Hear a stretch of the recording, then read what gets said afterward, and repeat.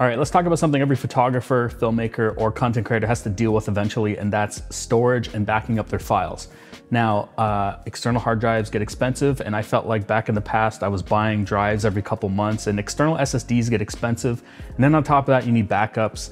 Um, obviously, cloud services are useful, but they can be kind of slow and they're expensive. And obviously, managing footage and files across multiple drives gets to be a nightmare. Now, I have a pretty good system in place with my current workflow.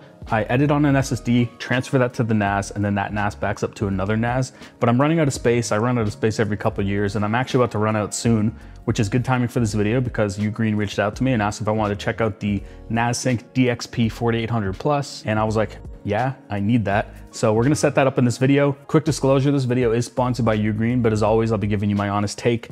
I do get to keep the NAS, but I had to pay for the drives inside it. Um, I will timestamp this video because it's sort of a review slash setup, so you can kind of choose the parts you wanna watch.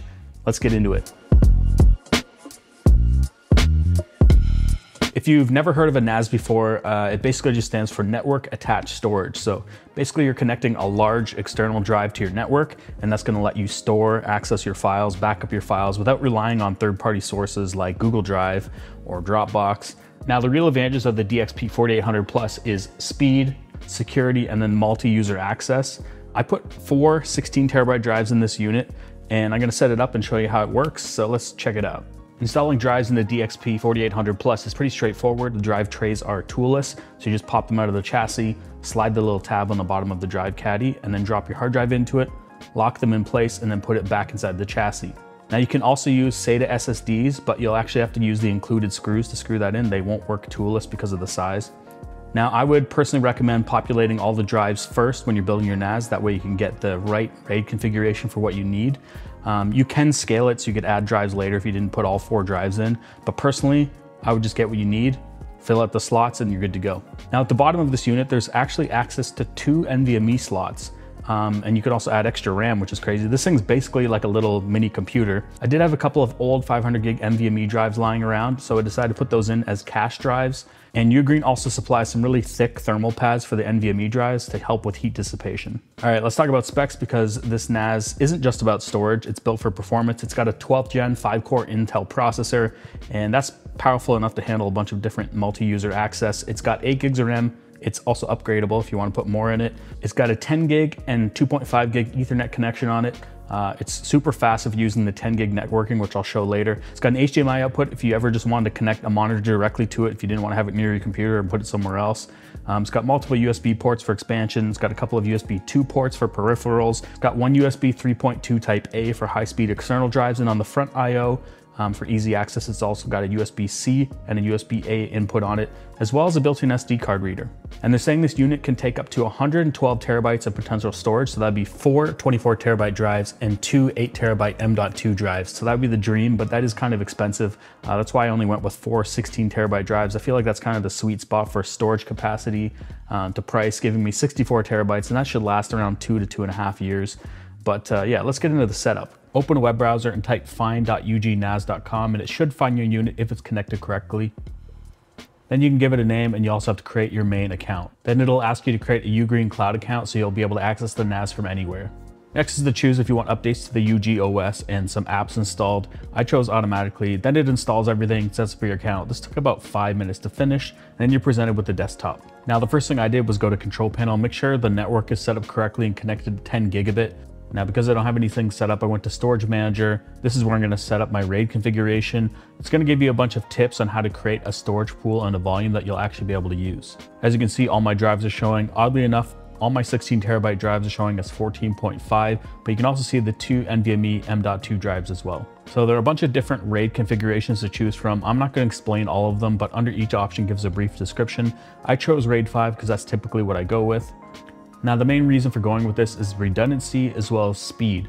Now the only issue is you lose out on one of your drives when you do this. So this right here is gonna create a 43.6 terabyte NAS or storage pool. So you're gonna choose format, type in your admin password, and it's gonna create that new pool. Now I've set mine up as a RAID 5 because it gives me some fault tolerance as well as decent speed and storage size. And this is how I've set up all my NASs in the past. And I've seen how firsthand how beneficial it is because I've actually had one or more drives fail on me in the past. And with RAID 5, you can take the old drive out that's faulty and replace it with a new one. And because of how it's all set up, it'll actually rebuild the array on the new drive and it'll act as if nothing happened. You won't lose any data. It's, it's so awesome. Now, if you remember, I put two M.2 NVMe drives in for cache, and while it's creating the pool, I actually clicked on the three dots. It brings up some options. I chose SSD cache management, and then in here you can select the volume you want to put the cache on, and I chose read and write, which is what I'd recommend if you plan on working off this, because that's gonna give you the best performance for whatever project you're working on. Otherwise, choose read. Now this is where it's gonna ask you what RAID you wanna do with the cache drives. It only allowed me to do RAID 1, which will mirror the two drives in case one fails, which is good. But instead of one terabyte of cache, I now only have 500 gigs of cache, or in this instance, around 450 gigs. And once you've done that, it'll create that RAID 1 cache. Now, while this is still working on optimizing, it took about two days to get full performance. I was still able to use this, so I was able to create a new folder I'm choosing to make my main folder as the shared folder, but you can also choose personal or user folder. And I give my account full user read and write access so that I can access it from anywhere.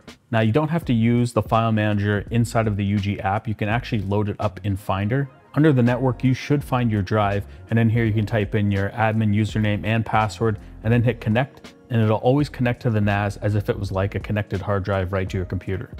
So back in the UG OS, there's a bunch of different apps in the App Center that you can install. I know a lot of people use Docker, but I'm not gonna go in depth on all the apps. There's lots in here, and I'm pretty sure that uh, you can actually install different operating systems on this unit as well, but I'm fine using the UG OS for now. I think one of the best features of the DXP 4800 Plus is the remote access or multi-user support. I can access all my files remotely from anywhere. I can use my iPad, I can use my iPhone, um, whether I'm on location or at home, and the app is really intuitive. It's pretty similar to the browser UI I've already been showing. Theoretically, if I had an editor and I was out shooting a video, I could actually take the SD card out when I'm done the shoot, put it in an SD card reader on my phone and transfer it in 5G up to the NAS and uh, it's, it's super quick, super fast, and the app supports a bunch of different preview files, so you can actually preview stuff back from the NAS on your phone if you wanted to through 5G. Now I noticed that if I was trying to load 4K 60p 10-bit videos, uh, it would buffer a little bit, but the cool thing is they let you change the preview resolution. So if you wanna choose 720p or 1080p, you can do that, and then you won't have any buffering issues. So I have the Ugreen app open on the iPad and installed, and I wanna quickly show you what it's like to use. Over Wi-Fi, the NAS showed up for me, and I logged into it using my username and password. The app should be laid out similar to the desktop, but it does have some extra system info at the bottom. So I'd use this to transfer photos and videos if I wanted to edit them on the iPad. So I'm gonna go to a shared folder that I already have on here with some images and I'm going to download maybe one of them. And as you can see, it's all set up pretty much like you'd see inside Finder. You can tap on your images for a preview. Now, one thing I noticed is that it previews it in a low res until you choose view original. And then from there, you're getting the full quality preview. I don't know if there's an option to change that, but that's how it's set up for me. Now, if you wanted to download to the iPad, you can just tap the download and save to a local album. It's gonna ask for access the first time, and then when it's done, it's gonna save that full quality image into your photo library. Now, if you wanted to save an image or a file from the iPad to your NAS, just go to the share icon, tap on the Ugreen icon, and in the lower left-hand corner, it's gonna ask you if you want to save it. So there you can choose your folder. In this case, I'm gonna have to make my own folder because I didn't have one for this test. then once you're done, hit confirm. And then from there, you can see the files uploaded to the NAS and you're previewing it back on the iPad. I wanna do a couple of speed tests here just to show you how fast this is. I'm gonna take a 7.5 gig file, transfer to the NAS, and then I'll also show you what it's like if I was to upload that to Google Drive. Um, I have 1.5 gig internet. Now it's 1.5 down and one up. So it won't be nearly this fast, but I'm just kind of prove the point that like having a NAS as a local cloud storage might be a better solution than Google Drive. I'll, I'll do a stopwatch. All right, here we go. Three, two, one, go. And finished. So 22 seconds to transfer a 7.5 gig file. Now, if I was to upload that to Google Drive, let's see what the speed's like. About to transfer in three, two, one, go.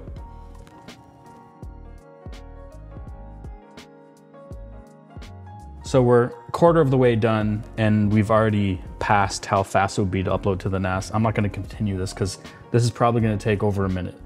All right, so I wanna show you how you can edit off the NAS and I have a full DaVinci Resolve project in here. So I'm gonna open this up. And as you can see, everything's loading in like it would typically off a normal SSD or a normal hard drive.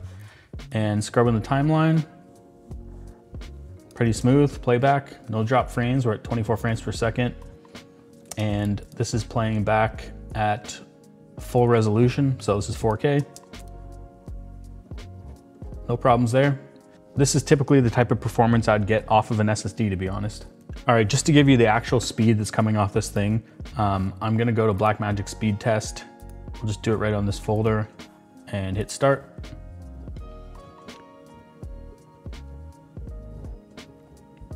So it's, it's pretty fast at read speed. We're getting around 660 write and around 1,000 to 1,076 read. So anyway, that's pretty fast. That's over 10 gig network and we're getting basically what a 10 gigabit per second SSD would give you.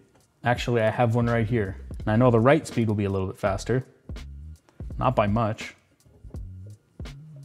Honestly, the read speed is even slower than my NAS. And this is a drive I work off all the time. So clearly I could work off the NAS. All right, final thoughts for professionals. This is a no-brainer. You have to have storage and you need something like a reliable NAS to back up your files, or even if you wanna work off it, you can do that too. Um, I'd recommend working off of this versus a bunch of different drives. This streamlines the process, it cleans up your desk, gives you some redundancy if one drive fails. And uh, like I said, you got multi-user access, so you can send links to clients if you want them to download files right off your NAS. So you don't need to upload to a cloud anymore. You basically have your own local cloud storage with this unit. Now, I know a lot of you probably don't have 10 gig networks, and neither did I actually, but I just picked up a really cheap 10 gig switch for like 100 bucks. Um, I connected that to my router for the internet, and then I connected my NAS to one of the 10 gig ports, and then my Mac Studio to the other 10 gig port. And I didn't even have to do any configuration, it just worked right out of the box, and the speeds are pretty impressive. Like I, like I showed you, you can edit directly off it, so that's really good. Now it does have some AI features. It has an AI album assistant manager, so it can help you search for your photos easier. Um, the cool thing is it has recognition and classifications. Uh, you can search photos just by typing in what you're looking for. So if you want to look for a camera, it'll hunt through it all and find all your images that are cameras. Just helps a little bit when it comes to search. It also supports a lot of different RAW formats for mainstream cameras in the photo album, as well as different video formats, and this is really helpful when it comes to previewing photos and videos shot from various devices. Overall, this is a really nice solid unit, and they're giving you a lot for the price, and also having the ability to connect external storage to it if you want to for file transfers, as well as add extra NVMe drives into the bottom of the unit for caching. It's also a really nice touch, and also being able to update the RAM. Now, if I were to give it one negative, uh, it would be the SD card reader. It's not UHS 2, so you're not gonna get the full UHS 2 transfer speeds from your cards. Um, it's not a deal breaker, but it would have been nice to have. And outside of that, it's a really solid unit. I'll potentially do a follow-up uh, in maybe six months to a year to see how things have been running because I've only had this thing up for two weeks. Anyway, World Backup Day is coming soon and Ugreen is offering 20% off to you guys for a limited time. So make sure to check the link in the description to find out more. Also, let me know in the comments what you're using. Are you using a NAS? Do you work off SSDs? What's your workflow like? And uh, thanks for watching. If you like this video, give it a thumbs up. If you dislike this video, give it a thumbs down twice. Don't forget to hit that notification bell and see you guys in the next one.